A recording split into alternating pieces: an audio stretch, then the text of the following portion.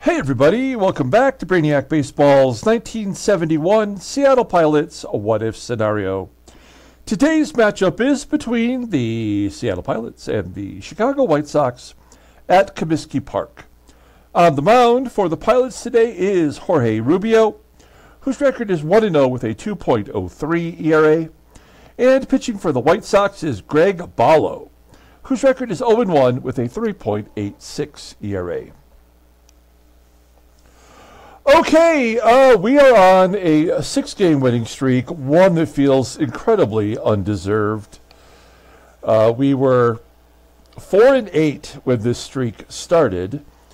And, you know, every game has been close. Uh, some wacky things have happened.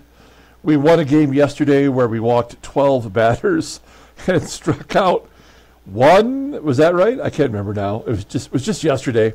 Um, we even had yeah, that's right, because it was it was 12 strikeout or 12 walks, one strikeout yesterday, and I remember thinking after the game, didn't we have a game earlier this season where we walked eight and struck out none? So in two specific games, we've walked 20 batters and only struck out one batter. I, that's a, that's ridiculous. It's so stupid how unrealistic this game can be. Um, and yet we're two games over 500. And if you look at our team stats, I mean, we're below average, the league average in batting average. We have, you know, less power uh, based on our home runs compared to the American League. And our TBRA is almost a full run more than the average uh, in the American League. And yet we're two games above 500. Um, it does help that we're playing the lowly White Sox. Um, and we play against uh, Greg Bollo, who's only made one start this year. I think he's their second best starter, but he um, was injured in spring training and missed six six weeks before he made his uh, first start. So this will be start number two for him today. Uh, he's facing Jorge Rubio, who, um, based on his ERA, is our best pitcher. So it should be interesting. After today's game, we do have a day off. So that means all the bullpen will be available today. Um, and then when the game's over, we'll advance a day to get to the Indians. We are almost to the end of the first month already, which is exciting. Um, if you don't know, at the end of every month, we do a end of the month summary video where we take a look at the standings, the league leaders. Um, I'm not sure whether I'm going to bring the player pyramid back yet. I, have I've not received any real accolades about it, and so um, it's not like it's a ton of work, but uh, if it's not really of interest, I, I won't. Um, I won't bring it back. I give the people what they want, and what they want is prizes. I've learned this uh, through years and years. I'm into my fourth year here at um, YouTube, making these videos, and uh, tomorrow we are giving away a prize. Uh, it is for members only, which right now, since we just started it, that only includes Freddie C. So he's going to win the prize hands down. Unless you get in on it today, uh, you have to be a member, which costs you $1.99 per month. Uh, starting uh, tomorrow would get you in on the giveaway. And we can at least have a duck race between two ducks for the grand prize, which is this 1981 Topps Mike Schmidt record breaker card, most home runs in seasoned by a third baseman. It is an SGC4, which is not a great grade, but it's encapsulated uh, in this really cool uh, black matted uh, uh slab from SGC. And I think that's why SGC has become so popular, um, you know, maybe even surpassing uh, PSA because uh, their cards look so much nicer in these black slabs instead of the clear uh, PSA. I think PSA is still the most respected as far as their grades go. Uh, but if I were to grade this card, I mean, I think a four is probably right in the realm of what it deserves. It's off center. It's probably got some other condition issues. But the point of it is, for $2, this card could be yours. You'll have a chance to win it. And then every month, at least for now, I will give away another graded card and your $2 Your $1.99 entry will get you an opportunity to win that card. Uh, I'd like to get to a point where I'm giving a card away a week. Uh, if we got enough uh, members, that's what I would do. But we're just starting off with that concept. Um, it doesn't say it in our membership notes when you sign up to be a member, and that's because YouTube doesn't want us um, giving away prizes for money. Uh, and I get that. Um, a lot of people who give away prizes on ba- on um, YouTube, they do it through their Patreon page, which is like a secondary, third party um, uh, way of uh, accepting money for things. And um, I don't want to do that. I just want to keep it simple right here on YouTube, at least for now. So, oh, there you go. You can win that prize by uh, donating the $2. You can do that by clicking the join button down below or going to our main page on YouTube and clicking on membership and then just follow along with what is going on there. Now, now giving away those prizes, that does not supersede the prizes that we give away for free every 40 games. Um, so this is game number 19. Tomorrow will be game number 20. So we're halfway to give away uh, the free prizes. This just helps you get away, get uh, something a little bit nicer. That's what we're all about here. Jorge Rubio making the start. Uh, everybody in the bullpen is available except for Ron Locke. And if we had to go with Locke, we might, uh, simply because uh, we do have the day off tomorrow. Here's our lineup versus Greg Bollo. He's a right-hander, so we have our lineup in there versus righties. We're basically going with the same lineup from yesterday. Let's do the lineup rundown for the Seattle Pilots. Batting leadoff on a nine-game hitting streak is Tito Fuentes at second base. Batting second and catching is Manny Sanguillen. Batting third in left field is Jose Cruz. Batting cleanup at first base is Deron Johnson. Batting fifth in right field is Joe Pepitone. Batting sixth in center field is Tommie Agee. Batting seventh at third base is Aurelio Rodriguez.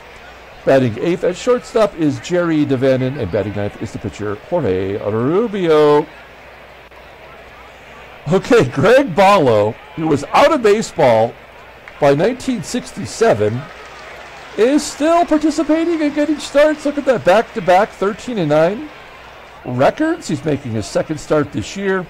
Well, in fact, he had a great season last year, now that I'm looking at it, with the exception of walking 35 more batters than he struck out. Please don't let this be another game like yesterday. You'll see his only start that he's made this year. He did walk four in that game, but he struck out six. His fastball tops out at 90 miles an hour. Ground ball percentage is 49.1%. The curveball is technically his only good pitch, and it's very good. It's rated a 93. Overall rated an 86. The 27 year old righty is arbitration eligible at the end of the year. Look at his log. There it is. That's all you need to see. All right, let's take a look at the defense for the White Sox. Are they mixing it up? No. Same lineup. Problems out there in right with Terry Crowley. And at shortstop with Rich McKinney. Behind the plate is Ed Herrmann, who has a 76 rating. Potentially someone we could steal against. Okay, here we go. Tito Fuentes leading it off against Greg Bollo. I want to make note before we get started that I'm doing a little day drinking today. I haven't, this is not something I'm, I'm proud of, I'm just stating this. Since my birthday in May, I've only had one glass of wine. I haven't really been drinking. Not for any particular reason, other than, uh, you know, just taking a break from it. And today I'm going to jump off the wagon. I'm drinking some wine, doing a little day drinking. I am typically an angry person in general, which is probably why I get so frustrated with this game. But when I'm having a drink or two, everything's fine. And so I feel like this game is going to be a, a little bit more easy to, to uh, digest because there'll be less anger involved. What the hell's that? A ground second base. God, that's a terrible way to start. One up. Manny Sanguillen, the catcher. Hey, there's a gapper. Can Sanguillen get a double? A hustle a double. He's got five doubles this year. I think that ties him with Jose Cruz. It does. I, I think we have figured out one, two, three in the lineup. It's not always successful, but these guys do seem to hit. They do find ways to get on base. Is that a line drive or a ground ball? It's a line out to second. Cruz is out. Now, this is where things get a little shaky with uh, four, five, and six. Well, actually, really the rest of the way down the lineup. Here's Deron Johnson. He'll take ball four. Runners on first and second with two outs, and Joey Pep is up. Pepitone, much like most of our players, only with one home run. It's a fly ball into right center field. We're going to strand those runners. Go to the bottom of the first. Let's take a look at the White Sox lineup for today. Batting leadoff in center field is Angel Bravo. Batting second at shortstop is Rich McKinney. Batting third in left field is Carlos May. Batting cleanup and catching is Ed Herrmann. Batting fifth at first base is Bob Spence. Batting sixth at third base is Bill Melton. Batting seventh in right field is Terry Crowley. Batting eighth at second base is Rich Morales. And batting ninth is the pitcher Greg Bollo. Okay, we'll take a look here at Jorge Rubio making his fourth start. He's fared pretty well. He's 1 0 with a 2.03 ERA, seven walks, seven strikeouts. That's not great. In 13 and a third innings pitched, opponents were only batting 174 against him. Fastball topping out at 91 miles an hour. Ground ball percentage is 47.3%. Only one good pitch. That's the slow curve. Overall rated as 79. The 25 year old righty is a free agent at the end of the year. Here's his log. Look at that. Six innings of no run ball. Gave up two hits and two walks. Maybe one of the better performances of the season from any of our starters. And that was his first win. Okay, let's take a look here at our defense. Pretty solid. I like having DaVanon at short. I feel like he's the much better hitter than Belanger. Um, and with whenever we do that, I feel like we got to have Rodriguez at third to cover more ground. And also, it's nice to have Fuentes at second base. Also has a good range. Right field's a problem with Pepitone, although he does lead the team in outfield assists, and behind home plate is Manny Sanguillen, who is solid. Okay, Angel Bravo leading off, batting 189 this year versus right-handers. 2-2 count, and Rubio strikes him out. One out. Here's Rich McKinney batting under 100. 129 overall. Fly ball to center field. Two down. Here's the second best hitter on the team. Carlos May batting 225. I make a joke, and then he hits a home run. It's a ground ball to short. That'll do it. Okay, we go to the second inning. Tommie Agee leading it off. We've got to get Agee going. He gets jammed inside. Ground ball to second. We really don't have anyone else that can play center field. Um, as an everyday player, we have to really let Agee go out there and try to get on base like Rodriguez. Has he been hit by a pitch already this year? No, that's his first time. Rodriguez on first. Um, Jerry DaVanon will let him swing away. And a base hit into left field. Rodriguez will hold. White Sox pulling the corners in. That's the right thing to do because we're going to try to drop it like it's hot. I don't really quote Snoop Dogg enough now that he's America's grandfather on every show. Uh, a good job by Rubio getting the base runners over. Let's see if Fuentes can keep his hit streak alive, maybe drive in a run. 0-2. He also gets jammed inside with a ground ball to short. We strand the two runners again. We go to the bottom of the second. Here is Ed Herrmann batting 419. Ground ball to third. Plenty of time with the catcher running. One out. Bob Spence, 2 2. Fly ball to left. What was their team batting average? It's got to be worse than ours.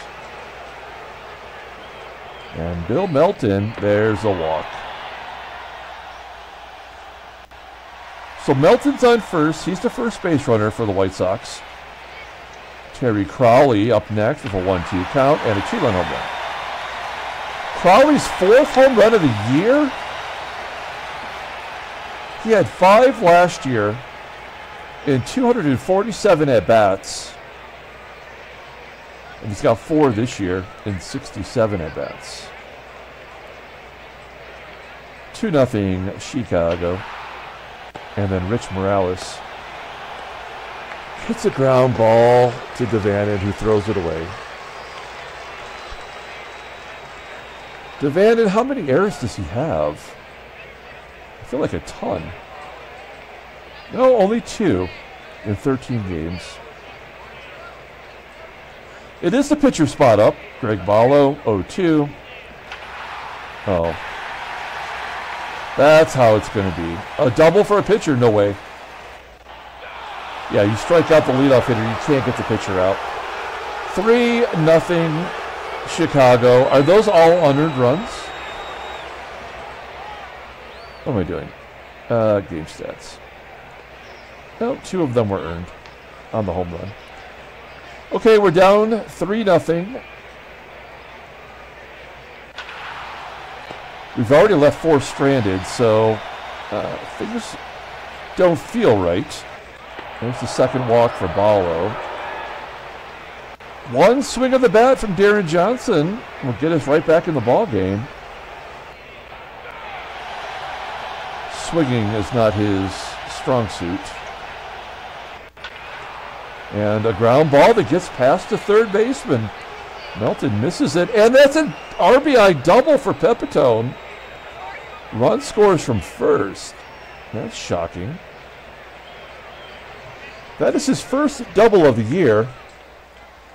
10th RBI. I think he leads the team in RBI with Rich Rollins. 0-1 to Tommie Agee. Fly out to left. You go to the bottom of the third, 3 to 1, Chicago. Yep, so it's not a baseball mogul game unless there's one or multiple unearned runs in a ball game. And he walks McKinney. Here comes the heart of the order, Carlos May. Flies out to center. McKinney. Uh, I figured he'd probably tag because that's what they always do. That's the exact same play practically as Herrmann flies out to center. And Bob Spence with a 2 2 count, striking out looking. Nice, good bounce back inning for Rubio. We go to the top of the fourth. Aurelio Rodriguez leading off. He walked the first time up. Popping it up here to Morales for out number one. Here's JDV. I'll come back here to the pitcher. And Rubio pounds it into the dirt. 50 50 error. Yeah, it's almost always an error. I say 50 50, but it's like 75% now. Throwing error by the catcher, Herrmann. That will bring up Tito Fuentes. Looking for that hit. 0 1.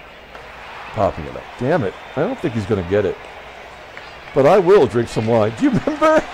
What what video was it where I tried to? Um, oh, it was back when I was had my um, live uh, feed up here in the corner where it had my face as we played the game, and I tried to uh, a glass of wine, it, I couldn't do it. Oh God, that was funny. I wish I remember what game that was. It was like the 83 or 84 Tiger Series?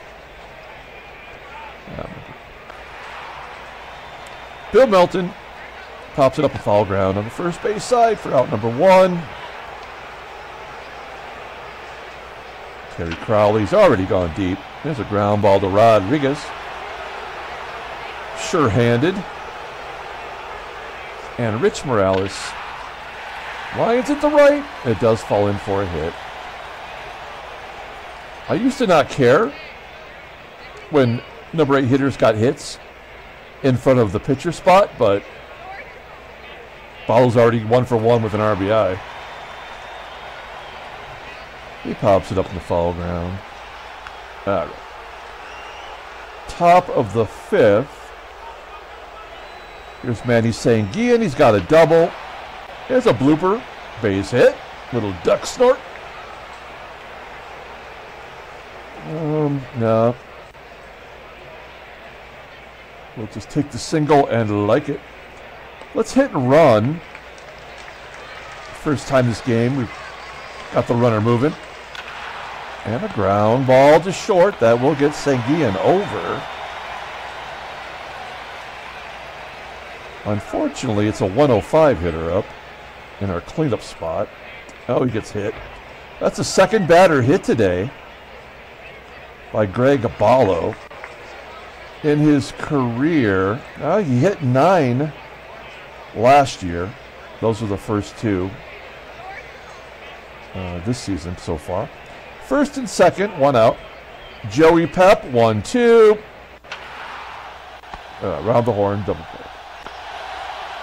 Yeah, we're, we're clearly not going to win today. That's what sucks, but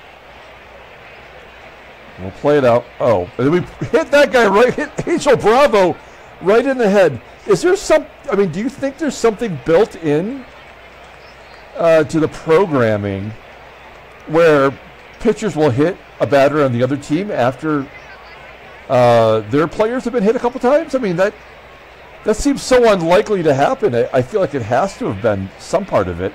But let's say he was trying to get revenge. Let's hypothetically make it um, a real world scenario. Why would you hit the fastest guy on the team? That's so stupid. I mean, it doesn't make any sense. So that's why this game is such a terrible, terrible game. It's so poorly programmed. And now he's going to give up a ton of runs, and there's nothing we're going to be able to do to prevent that from happening. We'll pull the infield in, but it don't matter. Ground ball to short. Awesome second error by DaVanon, and this this is all done now. All unearned runs. We went from having one earned run, unearned run, to now having three unearned runs. And a walk. Still nobody out, by the way. Not a single batter out. And another error. So it's off the rails now.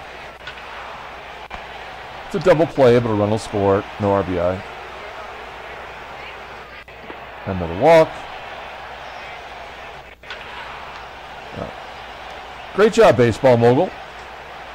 Two errors, a home run, hit batter, five runs. Later, it's eight to one.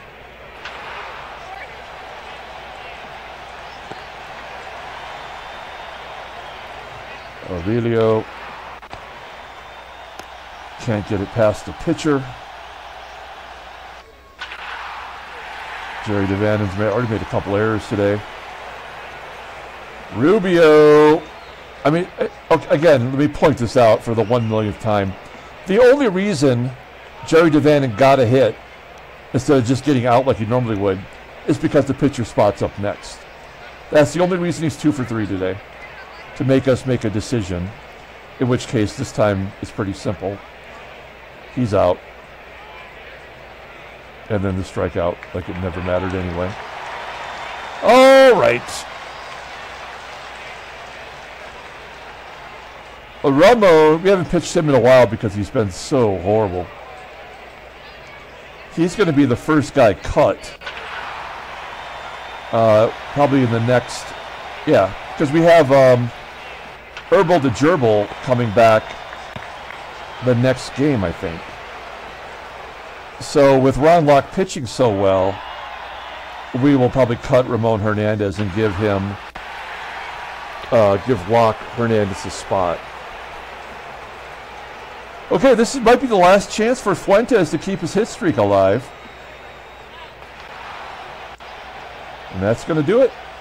Nine game hitting streak comes to an end. Manny Sanguillen's got three hits today. Yeah, I was just going to say, we're due to get a couple runs. There's no way that Greg Bollo is going the rest of the way without giving up runs. It can't be a seven inning, um, a seven run uh, differential. So Cruz hits his second home run of the year. Yeah, he's got eight extra base hits. Deron Johnson, another offer for him. Joey Pep, base hit. Why not? Hey, there's a double for Joey Pep. He's got two today. First two of the season. Only when it doesn't matter at all. And a routine ground ball for Agee. All right. We'll let Ramon pitch again. With an 11 ERA, I mean, the likelihood he's going to give up any runs is very low. The game automatically is going to try to get him to get that ERA under 10 at least.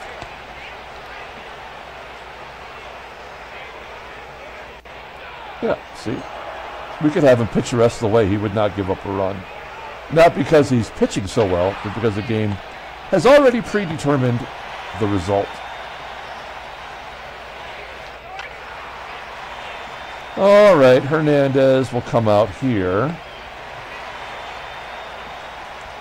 I think, even though there's nobody on base, we'll bring in Rich Rollins. I mean, look at this guy. Uh, 1 1. And a ground ball to short, or line drive perhaps. It was a line out. All right, we'll bring in some other schlub. Ray Peters is only thrown one, uh, five and a third innings, so he'll wrap up these three outs here. Morales. Is Morales, is that just morale plural? Asking for a friend.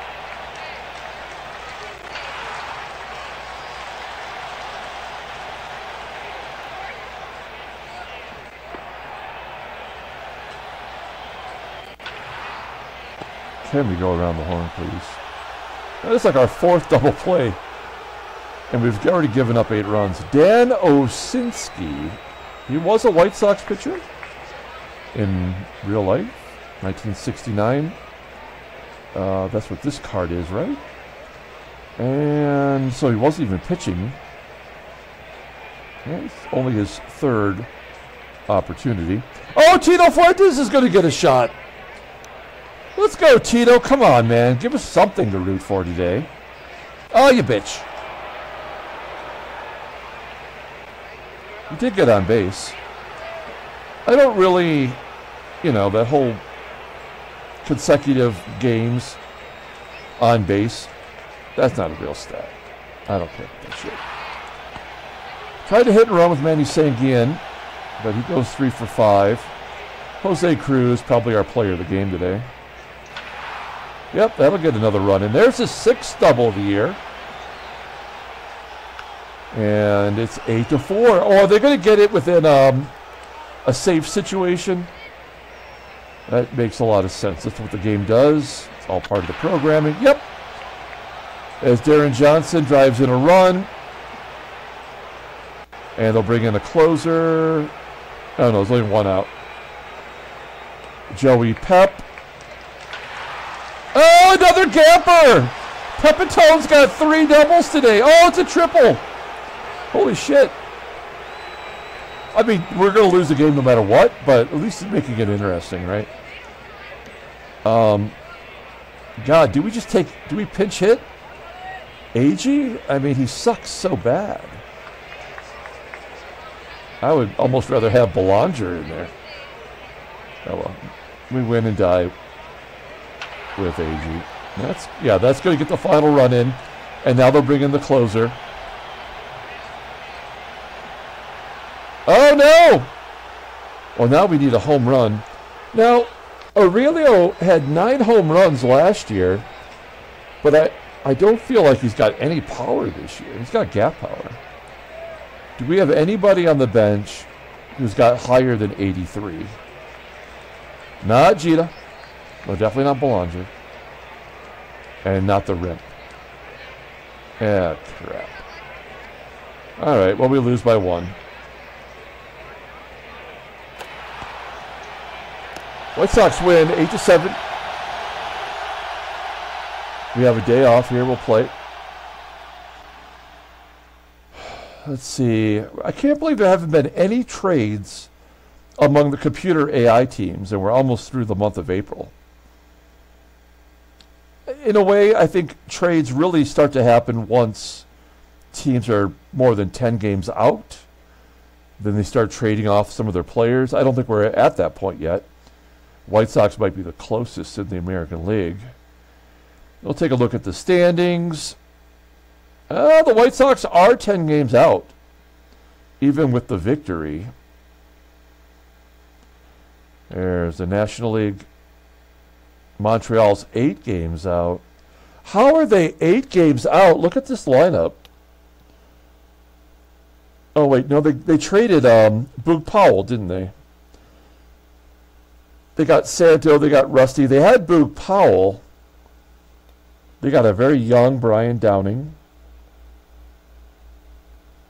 Yeah, I think when they got rid of Boog, that sort of killed them. Because they had a murderer's row there in, in the um, heart of the lineup.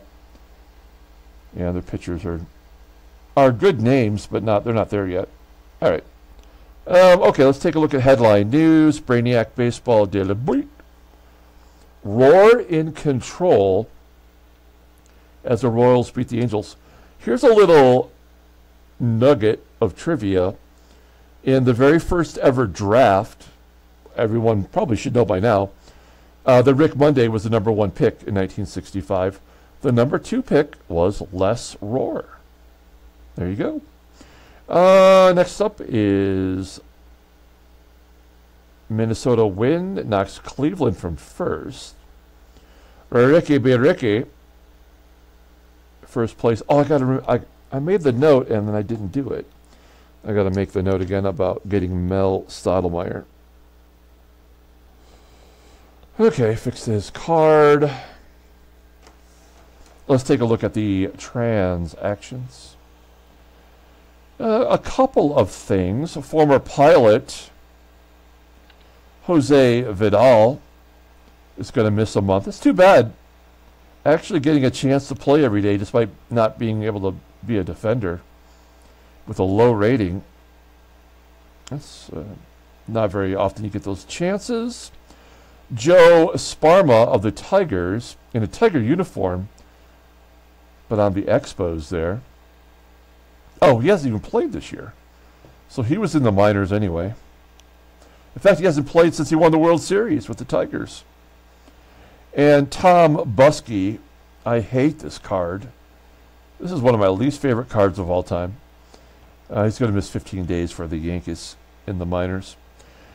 Uh, did we cover Jib Dixon last time? I can't remember. Oh, yeah, we did. Okay. He had the broken fibula. Okay, let's go ahead and pull up the box score and get out of here. Thanks for watching, guys. Last chance to get in on the member giveaway. If not, it's going to go right into Freddie's uh, mailbox, and that's okay. Um, we'll have another giveaway next month for sure. Uh, wow, player of the game. I kind of want to give it to Pepitone now. He had two doubles and a triple. Jose Cruz just had a double and a home run. So more total bases for Pepitone. Uh, although Jose Cruz did have a walk. Hmm, uh, it's going to be Pepitone. Jorge Rubio takes the loss. You really can't blame him. It's all errors, three errors. Uh, we did have lots of double plays to make up for that as they hit into three double plays. A double by the pitcher, that was the end of the ball game right there. Greg Bollo also gets the win, uh, in addition to the uh, double.